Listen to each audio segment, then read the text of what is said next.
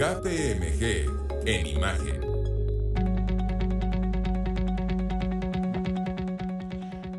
Bueno, déjeme comentar una situación por la que posiblemente esté pasando en promedio, y esperemos que no, pero lamentablemente así están las cosas. En promedio, las organizaciones pierden el equivalente al 1% de sus ganancias como resultado del crimen financiero. La ocurrencia de un evento de esta naturaleza genera gran estrés no solo en las áreas directamente afectadas, sino también en otras partes de la organización. Pero ¿cuáles son los riesgos que se enfrentan posterior a estos sucesos y qué efectos pueden tener. Bueno, para hablar sobre esto está aquí con nosotros y gracias Jefferson Gutiérrez, socio líder de asesoría en tecnología forense de KPMG México. Y Jefferson, pues, ¿cómo están las empresas en México ante la prevención de crímenes financieros? Buenos días. Buenos días, David. Muchísimas gracias por la invitación. Te saludo y obviamente saludo también a quienes nos están escuchando y quienes nos, nos están viendo en este momento. Es claro, justo como mencionas, que el crimen financiero es una realidad que está afectando por lo menos a 7 de cada 10 organizaciones en el país. Eh, y como bien mencionabas... sí, perdóname, 7 de cada 10. 7 de cada 10. Sí, tienen algún, alguna ocurrencia de crimen financiero. Entiéndase por crimen financiero actos de corrupción, evasión fiscal, fraude, cibercrimen, eh, corrupción principalmente. Son, son los crímenes financieros. Entonces, ¿cómo está la situación de las organizaciones en México? Tenemos, eh, a partir de una encuesta que hicimos, de un estudio que hicimos que era el impacto de los delitos financieros, veíamos que aproximadamente 52% de las organizaciones en México no estaban o no consideraban que estaban adecuadamente preparadas, es decir, no tenían un programa de respuesta al crimen financiero. Pero lo que es más grave, el 8% nos decían, oye, sabes que yo creo que mis controles no son suficientes para mitigar estos riesgos. Entonces, bajo esa perspectiva, pues obviamente siempre que sucede un crimen financiero, pues hay una serie de, de riesgos que se disparan. ¿no?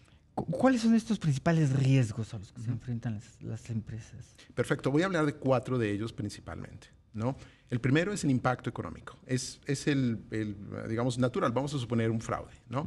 Existe un impacto económico directo eh, derivado de ese fraude, pero al mismo tiempo pueden salir, digamos, otros impactos económicos. Por ejemplo, puede ser necesario hacer una investigación y esa investigación, si no se puede hacer con, eh, personal interno, vas a tener que recurrir a un tercero especializado que pueda hacer esa investigación para poder llegar al fondo de las cosas.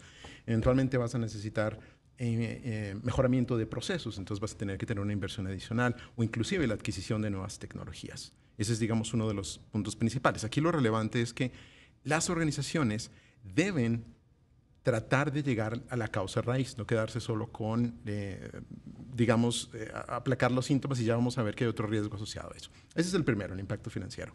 El segundo es el impacto reputacional. Vamos a suponer que una organización estuvo involucrada en un caso de corrupción. Inmediatamente sus socios de negocios, sus clientes, sus proveedores, pues pueden tomar acciones, ¿no? Pueden tomar reacciones ante ti o inclusive llegar a, cancelar las, las, las relaciones de negocios que se tengan. Eh, un impacto en la reputación es muy difícil de recuperar.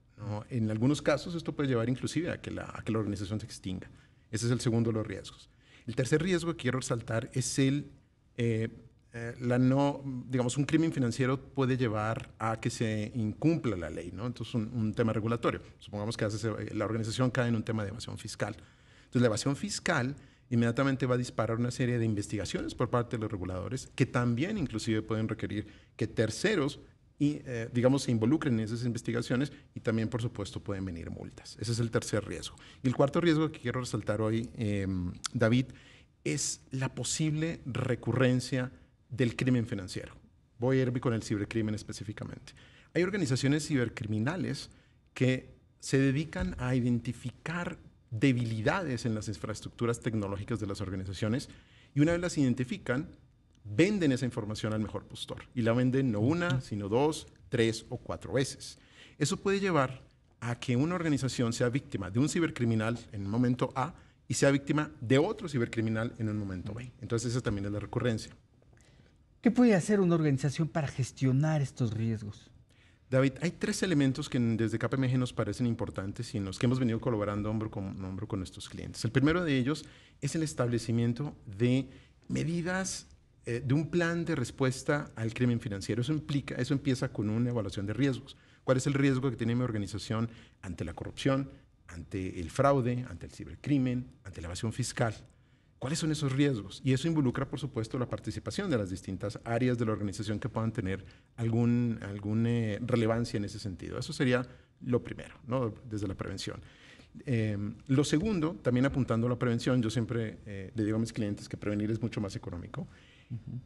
Tomar elementos que te permitan detectar y detener a tiempo el crimen financiero. Por ejemplo, se pueden utilizar la analítica de datos que hoy en día está tan, eh, tan reconocida para detectar, no operaciones inusuales, pagos que se están saliendo un poco de lo normal, establecimiento de líneas de denuncias o líneas éticas que te sirvan para que tus eh, empleados, tus proveedores eh, y personas interesadas pues, puedan denunciar eh, comportamientos no éticos. Y por supuesto la evaluación preventiva de riesgos en procesos que son clave. Por ejemplo, en temas de fraude es muy común ver que los procesos de compras generalmente están afectados. ¿no? Entonces, esa sería la segunda medida.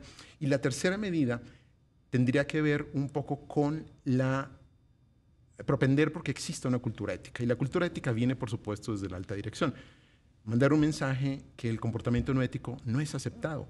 ¿No? Eso es supremamente importante y sobre todo porque a veces no, no basta con decir, oye, el comportamiento ético no, no, no lo aceptamos es importante también que la gente se convenza, porque no todo el mundo va a tener la misma pasión. Entonces, poder vender esta idea, entre comillas, haciéndole ver a la gente las ventajas, ¿no? ¿Qué, es, qué hay en ellos? Por ejemplo, si tú tienes un proceso que es muy manual, el hecho que eso se pueda automatizar para reducir el riesgo de fraude, pues involucra un, mejoramiento. Y por supuesto, el involucramiento del Consejo como ente que pueda exigirle a la administración también esas medidas es, es supremamente importante que esté en su agenda. Muy bien, que sepa el ejemplo, que sea el ejemplo el que permee en toda la empresa, en toda la organización. Definitivamente, David, así tiene que ser. Muy bien. Los contactos para que KPMG México pueda asesorar a la gente que esté pasando por un problema así. Claro, por supuesto. Mira, tenemos eh, nuestro sitio web kpmg.com.mx, también eh, el correo electrónico asesoría arroba kpmg.com.mx o en redes sociales nos encuentran en Twitter, Facebook, LinkedIn como KPMG en México. Pues muchas gracias, Jefferson. David, te agradezco muchísimo y pues excelente día para ti y tu audiencia. Ahí está. Pues ahí está la información. Si esperemos que no usted esté pasando por esto, aquí están los especialistas que lo pueden asesorar. Gracias.